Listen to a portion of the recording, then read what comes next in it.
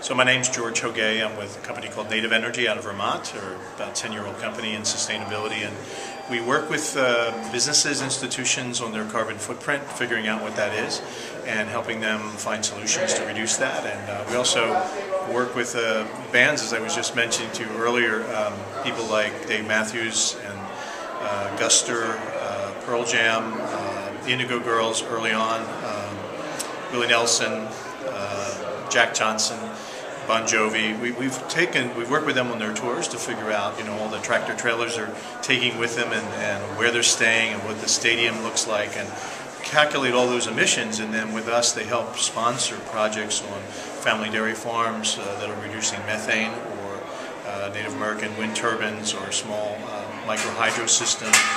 Uh, also community landfill uh, capturing of methane and reduction of methane. So that's our that's our role in the world, and uh, we have some great customers that we are working with in this space and with BSR. So, thanks for the opportunity to share.